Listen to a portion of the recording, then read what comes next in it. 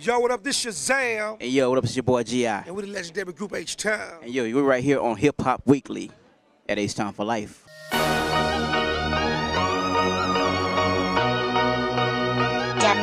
Devin Cruz. Hip Hop Hey. Weekly, South by Southwest 2015. And I'm here with none other than H Town knocking. The, see, I try to do my H Town knocking the boots singing. You like that? You like- I can't do it like y'all do. I see y'all doing y'all thing on the stage.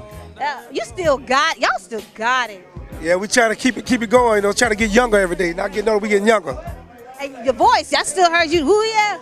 Oh yeah, I still do what I do. You know what I'm saying? It's just stress free, living stress free. 20, 22 years in the game now, so we still here. Now, South by Southwest, it's known for having artists come down here really connecting with the fans, actually exposing them to new fans. How important is it for you to come down to South by Southwest and really connect with your fans who've been rocking with y'all for 22 plus years? Oh, it's very important, man, because it just shows the fans that, you know, we human. And uh, we just kind of want to be real approachable. H Town some approachable guys. Just to let the fans know we love them and get a chance, you know, to tell them that we love them face to face, like, you know what I'm saying? So it's very important to uh, interact with our fans. Now, tell me, what new music did you bring to South by Southwest for the fans to hear? We brought a brand new single called Green Light. You know what I'm saying? It's about strictly for the ladies, of course. You know, we're taking it back to that grown and sexy. So y'all get ready for that. Get ready for that grown and sexy again. H Town. We ain't with nowhere. We ain't changed. We're not changing with the time, the current. You know, we we're in our own lane, so we're gonna stay in that lane. Sexy freaking me and you. I'm the only man you ever need. I give it to you every night. Energize upon it, yeah. Now, y'all fresh from Houston, Texas. You got a lot of fans here from Houston that are supporting you guys. You know, how have they supported y'all over the years ever since we lost Dino out of the group? Oh man, just you know about emailing us and uh, you know um, Instagramming us, Facebooking us, telling us to keep our head up. You know, also they come and support all our concerts. All our concerts sell out, so you know, and they still sing a lot of words, so you know they show us a lot of love. You know, because I said we, because I feel like I, I grew up with the music. So, you know, if we feel like we are part of H Town, especially when you're coming from Houston, Texas, you, you show these guys so much love. They love y'all in Houston. Yeah, that's why we named ourselves H Town to put our city on the map. You know, what I'm saying a lot of people wasn't calling, didn't know. That's, that's where the name H Town come from. So you know, we did that to basically put Houston, Texas on the map.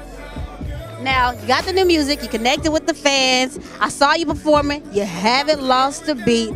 How do you think the music industry has changed so much? Because now you have social media, you have YouTube, you have Instagram. How's that changed the way you guys put your music out and connect with your fans? I think it makes it it, it gets it makes it get to the fans quicker. We don't, we don't have to do that much groundwork like we used to back in the day. Back in the day, we had to hit the streets for like four months and go city to city. Right now, we can just throw it up on the internet and it hits everywhere from here to London to Japan. You know what I'm saying? And Australia. So it's like a grease lightning. You know, so they get all the new music right there at one time, instantly.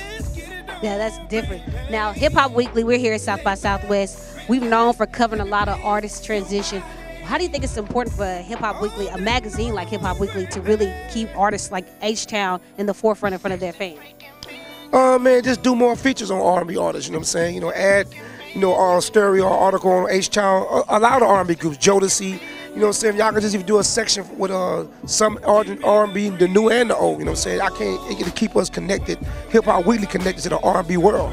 You know what I'm saying? Now, R&B music has changed so much. What do you think of the state of R&B right now in 2015?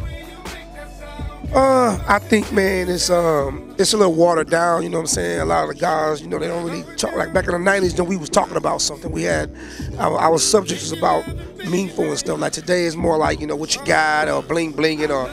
So I just think you know, but I'm not gonna knock their hustle. You know what I'm saying? They're not killing nobody. They still making a living, but it's just a little watered down. I just think we need to get back to the '90s or back to the when Marvin Gaye, Stevie Wonder, some of those guys. To listen to some of those guys like that, but uh, it's a little watered down. That's all I can say. I, I mean, to be honest, I think it's like an um, you have to adapt to your your, your surroundings. So it's like if radio telling me telling you that in order for me to get my radio my song on the radio, I have to sound like this dude right here. So I'm gonna do a record like he's doing, just to try to get radio. You know what I'm saying? It's not guaranteed I would get radio, but I'm adapting to the error in the situation because that's all I hear on the radio. You know, but at the same time, you know, it's like I don't think it's a lot of originality like it was back in our day. You know, everybody you can tell who Silk was, who Jodeci was, who H Town was, who was S- SWV or Next. You know what I'm saying? These days, everybody sounds just like Chris Brown got three other groups sounding just like him. You know what I'm saying? So that's that's the only thing I think is bad about it. You know what I'm saying? It's, there's too many carbon copies and not enough originals. The one thing about classic music, especially with groups like H Town, is that it never goes out of style. What can your fans expect from your new music that's gonna keep them saying this is a classic? It's never gonna go out of style. Same thing, man. We you be using the same formula with just a little bit of 2015 twist on it. You know what I'm saying?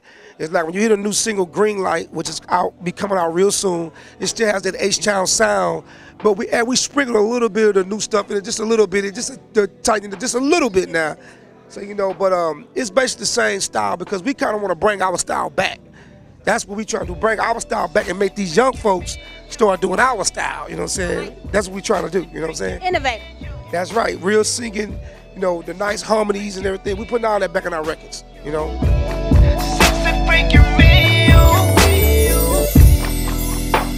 Sexy freaking me and you. I'm the only we were tired to the break of dawn. But oh, come on, oh, come on, I'm turning lights down.